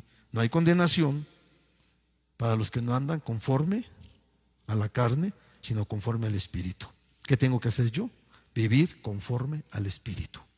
Tengo que dejar, hermano, que Jesucristo gobierne mi vida. Tengo que dejar que el Espíritu Santo, hermano, sea el que tome el control de esta carne. Sí podemos tener dominio sobre esta carne. Eh, el apóstol, cuando escribe, hermano, la carta a Timoteo, él le dice, porque Dios no nos ha dado un espíritu de cobardía, sino nos ha dado un espíritu de poder, de amor y de dominio propio. Hay un dominio propio, si podemos doblegarnos, si podemos, hermano, vencer esta carne. La palabra de Dios dice que todo lo puedo en Cristo que me fortalece. La Biblia dice que mayor es el que está en nosotros que aquel que se encuentra en el mundo. Entonces, mis amados hermanos, nosotros no tenemos condenación porque hemos alcanzado la salvación. ¿Sí? Pero si yo vivo conforme a la carne, pierdo. ¿Sí? Tengo que vivir conforme al Espíritu. Capítulo 8, verso 1. Ahora pues, ninguna condenación hay para los que están en Cristo Jesús. ¿Usted está en Cristo? No tiene condenación. Pero, dice aquí, los que no andan conforme a la carne. Si usted practica las obras de la carne, usted sabe cuáles son las obras de la carne. ¿sí? Si usted practica las obras de la carne y no camina conforme al Espíritu, entonces usted sí tiene un problema, tiene un problema de condenación. Voy al libro de los Gálatas, solamente quiero leer, hermano, una parte de lo mucho que nos habla la palabra de Dios respecto a las obras de la carne. Voy al libro de, de Gálatas, vamos al capítulo 5, por favor. Y voy a leer versículo 16 del libro de los Gálatas. Dice aquí el verso 16, Gálatas 5, verso 16. El subtítulo dice, las obras de la carne y el fruto del Espíritu, porque el, Espíritu da fruto. Y la carne da obras. Dice el verso 16, digo pues, andad en el Espíritu, tenemos que andar conforme al Espíritu. Y no, no le des satisfacción a los deseos de tu carne. Eh, hermano, yo, yo no entiendo a las personas que dicen que, hermano, que la salvación ¿sí? es ser salvo y siempre salvo. Sí, bueno, si estás en Cristo y caminas en el Espíritu, nunca vas a perder la salvación. Pero si, hermano, te metes a las obras de la carne, ahí es donde vamos a perder. El versículo 17 dice, porque el deseo de la carne es contra el Espíritu, es una lucha. Y el, y el del Espíritu es contra la carne. Y estos se oponen entre sí, estos tienen una lucha para que no hagáis lo que quisieres. Ah, Es una lucha. El espíritu peleando contra la carne y la carne peleando contra el espíritu. Es una, es una batalla que tenemos nosotros. El alma está en medio. Acá está el espíritu, acá está la carne y en medio está el alma. Y hay una, hay una batalla, se libra una batalla. ¿Qué tiene que hacer el alma? ¿Qué tiene que hacer la persona? Apegarse al espíritu. Vivir conforme al Espíritu. ¿Para qué? Para poder doblegar la carne, para poder sujetar la carne. Cuando estábamos en el mundo, no podíamos, hermano, vencer la carne. No podíamos obedecer, hermano, los mandamientos de Dios porque no teníamos la ayuda, porque no teníamos el poder. Hoy que estamos en Cristo, hoy que somos salvos, hoy que somos justos, amados hermanos, tenemos el poder del Espíritu Santo. Y ese poder, mi amado hermano, nos hace tener dominio sobre nuestra carne. La doblegamos, hermano. Sí se puede doblegar de acuerdo a lo que enseña la Sagrada Escritura. Para eso vino el Espíritu. Para eso vino el Espíritu, para santificarnos. Y el Espíritu, hermano, día con día hace un trabajo constante en nosotros y nos va santificando, porque la santificación también es progresiva. Cada día me santifico más y voy santificándome más y voy doblegando más mi carne. Eso es lo que hace el Espíritu Santo. Ahora dice, pero si, versículo 18, pero si sois guiados por el Espíritu, fíjese lo que dice. No estáis bajo la ley. Si somos guiados por el Espíritu, no estáis bajo la ley. Aquí la Sagrada Escritura nos enseña, el Espíritu, hermano, nos lleva, el Espíritu nos muestra la gloria del Padre. Hermano, ya no tenemos, hermano, que andar pensando, hermano, en los deseos de la carne. Dice la Sagrada Escritura, versículo 19, y manifiestas o conocidas son las obras de la carne, que son el adulterio, la fornicación, la inmundicia, la lascivia, la idolatría, la hechicería, las enemistades, los pleitos, los ceros, las iras, las contiendas, las disensiones, las herejías, las envidias, los homicidios, borracheras, orgías y cosas semejantes a estas, acerca de las cuales os amonesto. Como ya os lo he dicho antes, que los que practican tales cosas, ¿qué va a pasar? No heredarán el reino de Dios. Oiga, hermano, más clara la palabra de Dios no puede ser, ¿verdad? Más claro no puede ser la Sagrada Escritura. La palabra de Dios es muy clara. Si yo practico las obras de la carne, no puedo heredar el reino de Dios. No puedo. Sí, hermano, hoy soy salvo, ya soy un cristiano, ¿sí? He, he recibido, hermano, el favor de Dios, la gracia de Dios. He puesto mi confianza en Jesucristo y ya soy salvo. Pero ahora, hermano, ya no tengo ninguna condenación. Pero ahora yo no tengo, hermano, por qué vivir conforme a la carne. Porque si yo vivo conforme a la carne, tengo condenación. No puedo heredar el reino de Dios. ¿Sí? Pero si vive conforme al Espíritu, no tengo ningún problema. Ningún problema. Verso 22. Vamos a ver el fruto del Espíritu. Mas el fruto del Espíritu es amor, gozo, paz, paciencia, benignidad, bondad, fe, mansedumbre, templanza. Contra tales cosas que dice, no hay ninguna ley. ¿Por qué, hermano? Porque estamos en el Espíritu. Y el Espíritu nos lleva, nos guía a ser obedientes. El Espíritu nos lleva a ser santo. Verso 24. Pero los que son de Cristo, y vuelvo a repetir, usted es de Cristo, pero los que son de Cristo, ¿y cuándo es cuando somos de Cristo? Cuando aceptamos a Cristo en nuestro corazón. Y cuando aceptamos a Cristo, somos justos. Los justos, aquí dice la Biblia, los que son de Cristo son justos y estos justos han crucificado la carne con sus pasiones y todos sus deseos. Amén. Entonces, aquí la palabra de Dios nos habla muy clarito. Si yo, hermano, estoy en Cristo, no tengo ninguna condenación. No voy a sufrir nada. Pero eso sí, tengo que andar conforme al Espíritu. Y si vivo conforme a la carne, entonces tengo un problema muy grave. ¿Sí? Entonces no voy a heredar el reino de Dios. Voy a regresar a Romanos 8 para terminar esto. Espero que me estén entendiendo, hermano, y que esto pueda servir para que todos nos demos cuenta lo que la Biblia dice, no lo que los hombres dicen, porque los hombres, hermano, pueden decir muchas cosas, pero si lo que dicen o lo que enseñan no está fundamentado en la Sagrada Escritura, pues yo no puedo aceptar eso. Entonces aquí la palabra de Dios sí me dice que aún yo estando en Cristo, hermano, si vivo conforme a la carne, pues no puedo heredar el reino de Dios. Bien, estoy en Romanos 8, versículo 2. Dice el verso 2. Y del Espíritu, que es vida, a través de Jesús, me ha librado de la ley, del pecado y de la muerte. Acuérdese que el pecado trajo como consecuencia la muerte.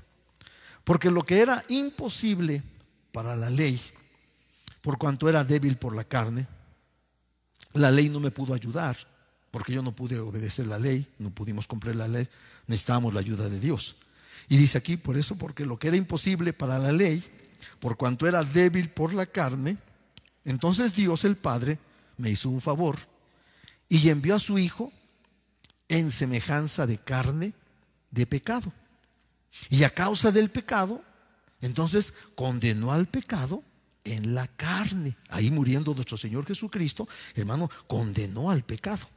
Dice el verso 4, para que la justicia de la ley se cumpliese en nosotros, que no andamos conforme a la carne, sino conforme al Espíritu.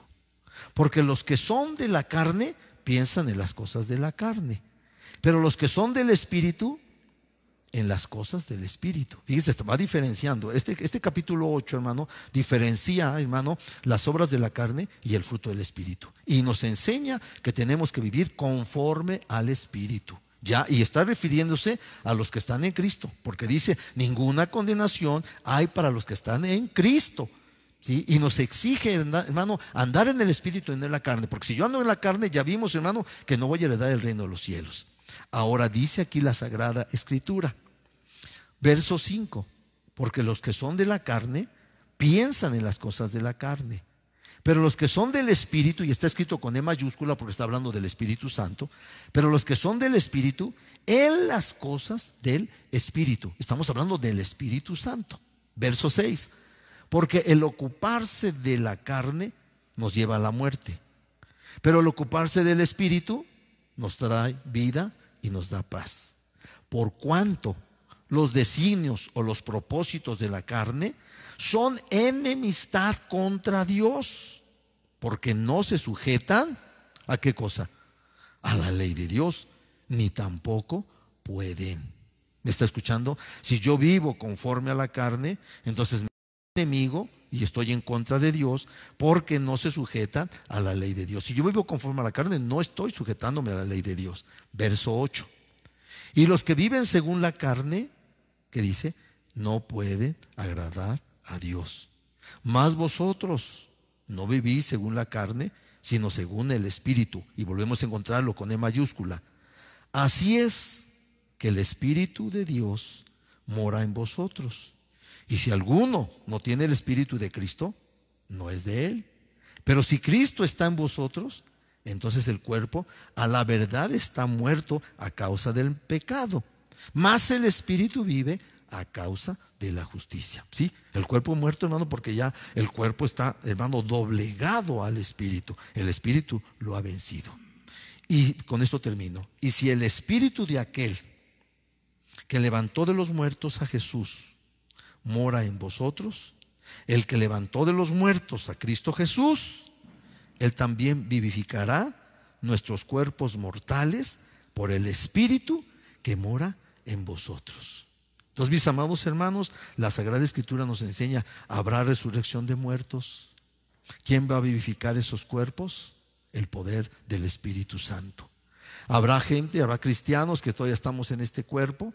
Hermano, ¿cómo seremos transformados? Por el poder del Espíritu Santo. Así que, amados hermanos, no debemos, hermano, vivir conforme a la carne, sino conforme al Espíritu. El versículo 12 dice, así que hermanos, deudores somos, no a la carne, para que vivamos conforme a la carne. Pero si vivís conforme a la carne, moriréis.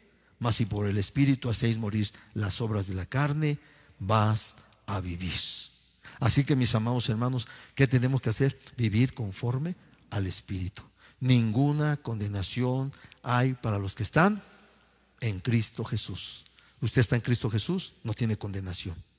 Pero siempre y cuando, escuche lo que enseña la Biblia, yo no estoy enseñándolo, es lo que enseña la Biblia. Siempre y cuando usted y yo vivamos conforme al Espíritu. Si yo como cristiano vivo conforme a las obras de la carne, no voy a heredar el reino de Dios. Qué bonito, hermano, es ser salvos por la fe, es ser salvos por la gracia. Ya me faltó leerles, hermano, cuando habla de la gracia. Usted lo puede leer en su casa, Efesios capítulo 2. Le va a hablar, hermano, que somos salvos por gracia. Un favor que Dios nos da sin merecerlo. Y eso es lo que nosotros tenemos que hacer. La palabra de Dios dice que una vez que usted es salvo, porque la salvación no es por obras, pero una vez que usted es salvo, está obligado también a mostrar buenas obras. Ahí está la Sagrada Escritura, lo va a encontrar en el libro de los, de los hermanos de los Efesios, capítulo 2. Amados hermanos, esta es la palabra.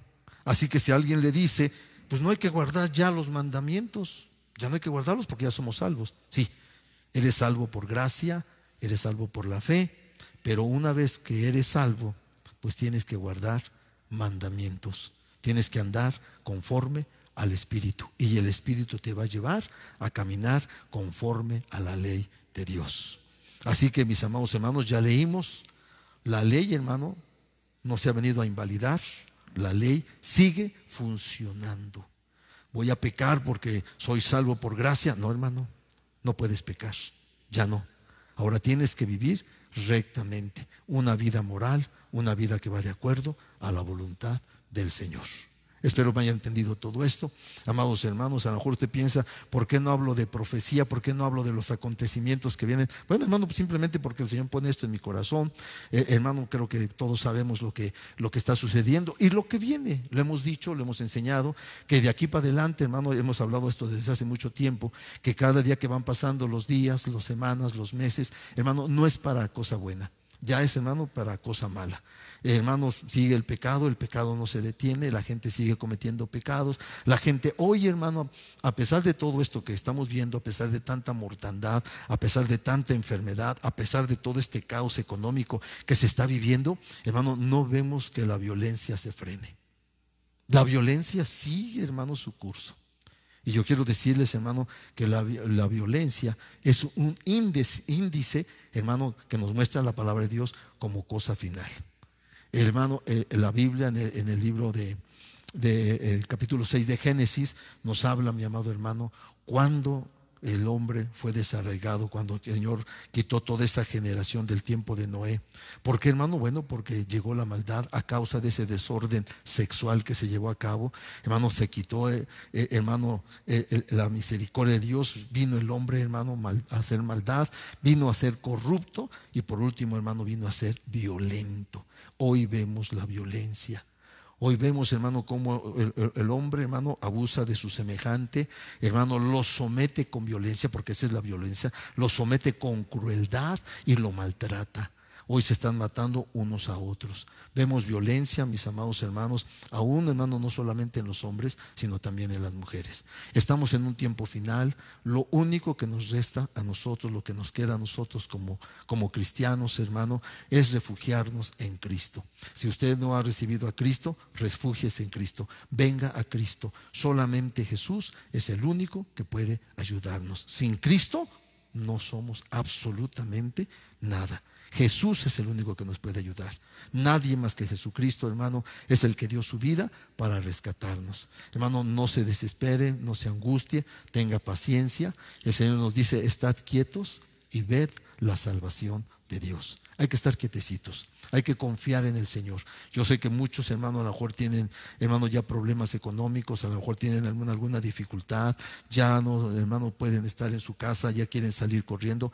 Póngase a orar, póngase a leer su Biblia, confíe en Dios, no permita que el miedo, que el temor le invada, reprenda todo espíritu de temor, clámele a Dios, ruéguele al Señor. Dios nos ha de bendecido y Dios nos va a ayudar a salir adelante. Confiemos en el Señor. Vamos a orar, hermano, vamos a pedirle al Señor si alguna algunos está enfermo, si alguno tiene alguna necesidad, si alguno hermano, no sé, hermano, su situación económica es mala, lo que haya, hermano, vamos a pedirle a Dios, vamos a rogarle al Señor para que Dios, hermano, tenga misericordia de nosotros y nos ayude. Cierre sus ojitos y vamos a pedirle a Dios con todo nuestro corazón. Padre, bendecimos tu nombre y te glorificamos.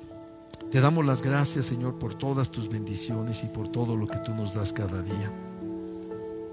Damos gracias, Señor, por esta salvación que nos has dado, esta salvación que disfrutamos, Señor, como el favor, Señor, que nos has hecho. Esta salvación que hemos recibido, Señor, porque hemos creído en Jesucristo como nuestro Señor y Salvador. Damos gracias, bendito Dios, porque tú estás con nosotros. Creemos, Señor, que Jesús murió, pero también resucitó y que hoy está sentado a la diestra del Padre intercediendo por nosotros. Te damos gracias por esta enorme bendición que hoy disfrutamos. Entendemos, Señor, que no hay otro camino más que Jesucristo. Ayúdanos, Señor, a refugiarnos en Cristo, a escondernos en Cristo. Yo te pido, Padre, que suplas todas las necesidades que haya. Ayuda, Señor, a tu iglesia, que podamos tener todo lo necesario, que suples todas nuestras necesidades, principal- principalmente esas necesidades espirituales. Y Señor, y como añadidura, todas aquellas necesidades materiales. Bendice cada hogar cristiano, suple todas esas necesidades, reprendo la escasez. Te pido, Padre, que tú bendigas y multipliques el dinero. Bendice y multiplica, Dios mío, Señor, aquella despensa. Manifiesta tu gracia, tu amor, Señor, sobre todos tus hijos. Manifiéstate, glorifícate, Padre. Solamente confiamos en ti. Solamente descansamos en tu misericordia y en tu infinito amor, Padre. Nosotros como cristianos estamos confiando plenamente en ti. Señor, esperamos que pronto tú puedas, Señor, permitirnos abrir, Dios mío, los templos para poder glorificar y exaltar tu nombre. Padre, te doy las gracias por todo. Gracias por tu amor. Señor, pon fe en cada corazón. En el nombre de Jesús, reprendo toda incredulidad, Padre. En el nombre de Jesucristo, reprendo, Señor, toda enfermedad, toda desesperación, toda angustia. Reprendo todo dolor de cabeza. Reprendo, Señor, cualquier enfermedad que hay en esos cuerpos. Echamos fuera todo lo malo. Rompemos toda atadura. Quebrantamos todo yugo. Y pedimos sanidad sobre los cuerpos. Pedimos liberación sobre los cuerpos, Padre. Reprendo, Señor, de la mente todos esos pensamientos negativos. Reprendo esos pensamientos de temor y de angustia, Señor. Y te pido, Padre mío, que escribas tu palabra en la mente y en el corazón de tus hijos. Padre, te doy gracias por todo. En el nombre de tu Hijo Jesús, Señor, te pedimos estas cosas para que hagas y obres conforme a tu voluntad. Amén. Los esperamos, mis amados hermanos. No se lo olvide que este sábado vamos a tener la, la oración. Se empieza a las 8 de la mañana y vamos a terminar a las 8 de la noche. Los esperamos a todos. Que Dios los bendiga y que Dios los guarde a todos. Gloria sea el nombre de nuestro Dios, que Dios bendiga la vida de, de nuestro pastor, que Dios lo siga bendiciendo. Y gracias, gracias por reunirte con nosotros, gracias por conectarte, gracias por estar en línea con nosotros para alabar, para adorar a Dios, para escuchar su palabra. Esperamos y esta esta transmisión haya sido de bendición para tu vida. No, no olvides compartirla, no olvides ahí compartirla ahí a través de Facebook, a través de WhatsApp, a través de tu Instagram. Tú compártela para que este mensaje, para que este, esta palabra de Dios, para que estos cantos lleguen a aquellas personas que necesitan realmente de Dios. Ya estamos eh, ahora sí que encerrados ya mucho tiempo y, yo creo que la gente que no conoce a Dios está desesperada, está angustiada. Entonces tú y yo seamos de bendición para aquellas personas que no conocen de Dios. Y vamos a tener eh, oración por las peticiones. Eh, te pido que te mantengas en línea. A veces vemos que ya cuando vamos a hacer la oración final empiezan muchos a desconectarse, ¿no? Si ya nos trajiste tu, tu petición, te invitamos a que te quedes con nosotros, a que finalicemos esta transmisión unidos y que ya si tú pusiste tu petición, bueno, que tú te unas con nosotros para orar al Señor. Hoy más que nunca necesitamos de la oración, necesitamos pedirle a Dios que Él haga su voluntad. Así que no olvides de, compartir esta transmisión. El día domingo te esperamos nuevamente a las 12 del día para que nuevamente alabemos y glorifiquemos el nombre de nuestro Dios. Así que vamos a orar por estas peticiones, vamos a pedirle al Señor que Él sea el que haga el milagro, que Él sea el que haga su, obra. Sabemos que tenemos un Dios de, de, poder, sabemos que tenemos un Dios que hace milagros y que para Él no hay nada imposible. Así que vamos a cerrar nuestros ojos. Si tienes ahí a tu familia, a tu esposa, a tus hijos, eh, tómense de las manos, ríndanse delante de Dios, hagamos esta oración. Aquí voy a pedir a mis hermanos que elevemos un clamor, que juntos elevemos esa oración a nuestro Dios para que sea Dios el que nos fortalezca, para que sea Dios el que nos bendiga, para que sea Dios el que nos ayude y que sea Dios nuestro sustento. Así que vamos a empezar a orar. Eleva ahí tu clamor ahí en tu, en tu hogar, ahí donde estás, en tu recámara. No sé si quieras ponerte de pie, si quieras doblar tus rodillas, si quieras levantar tus manos, pero yo quiero que tú eleves ese clamor a Dios. No permitas que el enemigo tape tus labios, no permitas que el enemigo te distraiga. No, ahorita vamos a enfocarnos en estos momentos de oración. Pedirle a Dios que Dios sea el que se manifieste en vuestras vidas, que Dios nos sane, que Dios nos libere, que Dios nos fortalezca, que el Señor nos ayude, que el Señor nos bendiga, que el Señor nos guarde, porque el enemigo no descansa. El enemigo sigue haciendo la obra, el enemigo sigue haciendo su trabajo, pero tú y yo tenemos que clamarle al Señor. Tú y yo tenemos que pedirle a Dios con todo nuestro corazón. Así que vamos a, a tener este momento. Va a ser un momento breve de oración. Pero yo quiero que tú no te desconectes, que te mantengas ahí, que empieces a orar, que le pidas al Señor. Si tal vez eres nuevo y apenas es la primera o segunda vez que te has conectado, bueno, cierra tus ojos en este momento. Y dile, Señor, ayúdame. Dile, Señor, tócame. Señor, guárdame.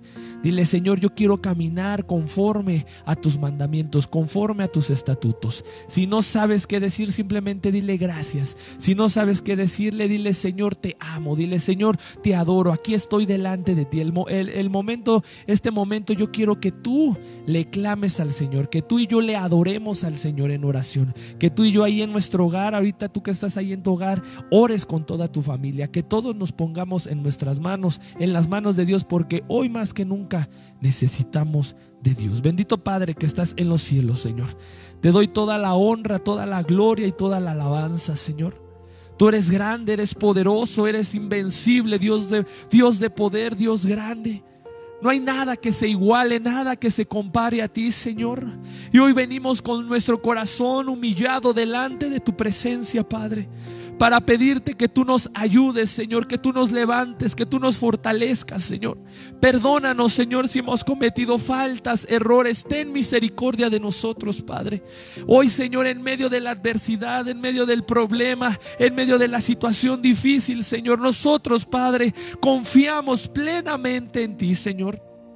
Sabemos, Señor, que tú estás atento a nuestro clamor, a nuestra oración. Sabemos, Padre Celestial, que tú eres nuestro pastor, Señor, y que tú cuidas, que tú velas por nosotros, Padre. Tú nos has dado, Señor, esta herramienta que es la oración, Señor, donde doblegamos nuestra voluntad, donde nos rendimos, donde nos humillamos delante de ti, donde reconocemos que sin ti, amado Padre, nada somos, Señor. Y hoy venimos, Señor, con reverencia, con temor delante de tu presencia. Nos humillamos, Señor, para pedirte, Señor, que tú nos ayudes, Padre, que tú nos bendigas, que tú nos guardes, que tú nos fortalezcas, Padre Celestial.